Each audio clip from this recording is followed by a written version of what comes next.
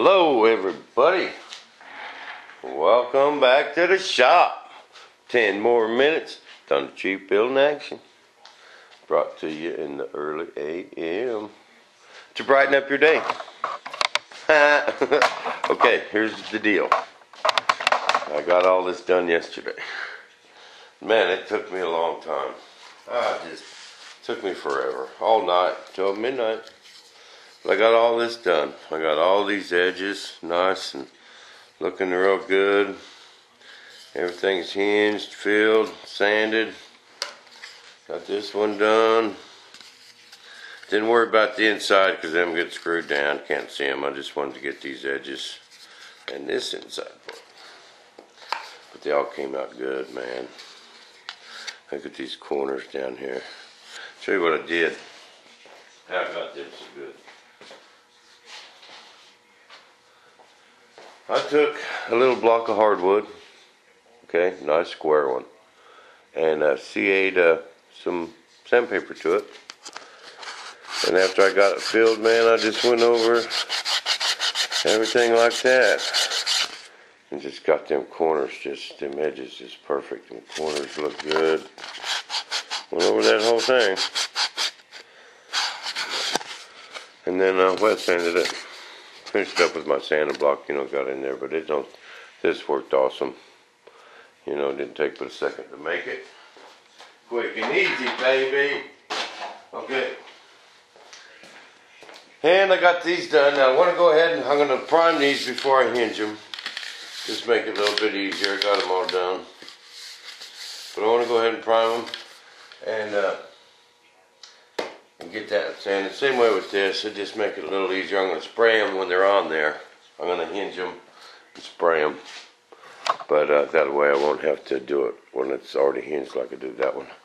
But I like painting them, especially a camo paint job. You know, uh, with them hinged. Now what I got to do is I got to show you guys this.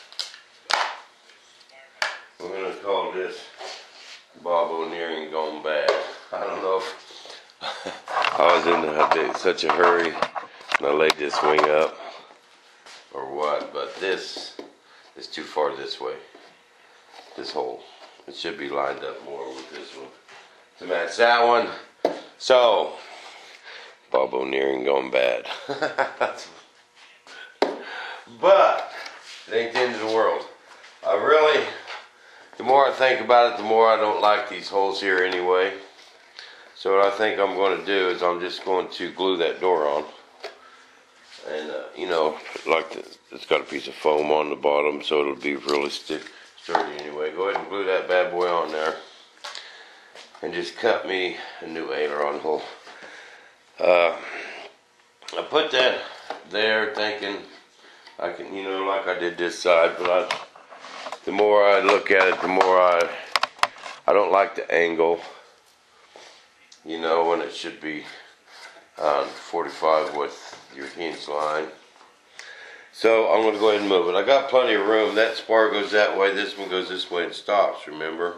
So I got plenty of room right there. Full size servo fit in there. So I'm going to go ahead and take this one out. Glue that door on. And uh, fill this edges and it'll look pretty good. You won't be able to tell. I'll just cut a hole here. And then on my next set of wings, I'm going to, I can, remember, these are double face taped in my mold. I can put that anywhere I want it. I can put it here, I can put it here, I can put it here, and still come out with that nice molded flange. So my next set of wings, I'm just going to go ahead and put them over there. There's plenty of room for full size servo. Um, you know, what can we do? Gotta have aileron. And they gotta be right, or uh, it'll lead to disaster. So, enough of that. That's the shopping, drama in the shop this morning. You know what I mean? Coffee cup's empty. Now what I gotta do to make sure all this fits. Make sure all this fits. You know, it all fits great, man. Just great. I can't believe how good that all fits. Bam!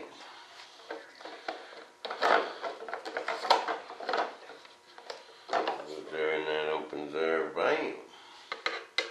Like that. See the way these stand up, they actually catch a bunch of the air. So it's almost like a speed brake. This thing's gonna, gonna have don't chop the throttle and put down the gear. Uh-uh. Things will stop. But you gotta make sure all this stuff fits. Some of them doors. That's that one. That one looks awesome. Awesome, awesome. And um, then start figuring out where we need some filler. And this one here, I'm gonna have to fill over where you can see them ribs a little bit.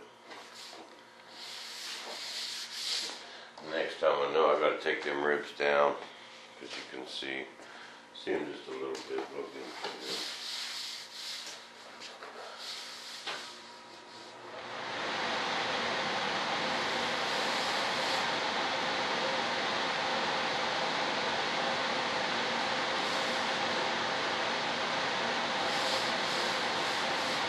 But all in all, not too bad.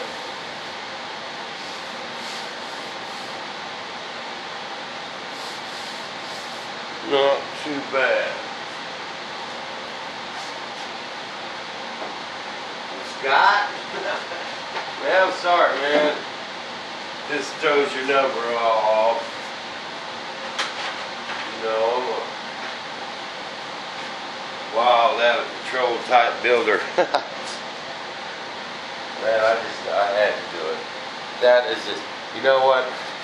Made me think of, you know, made me really decide to do it.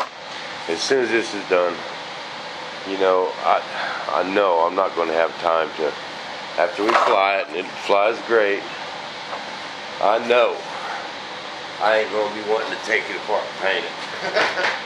I'm going to have other things to do. You know, there's going to be people wanting these. It's going to be flying season. And uh, I just ain't going to have time to take it apart, paint it. You know, I'm going to have other things to do when I can do this in just a few days right now.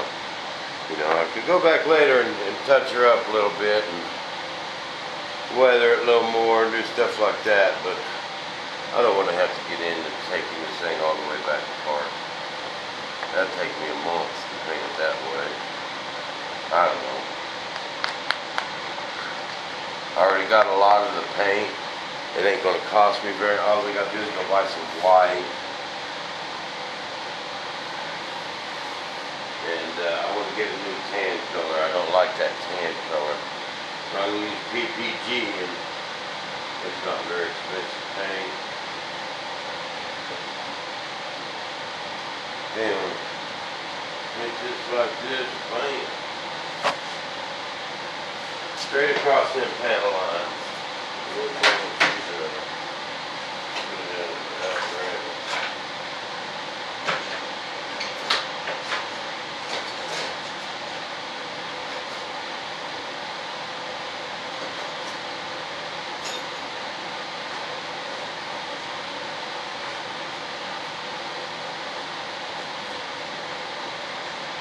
Should have had it up and ready.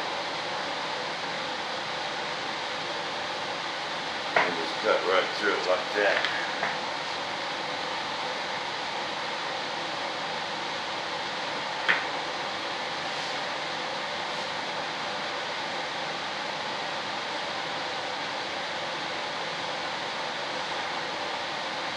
So we don't lose them panel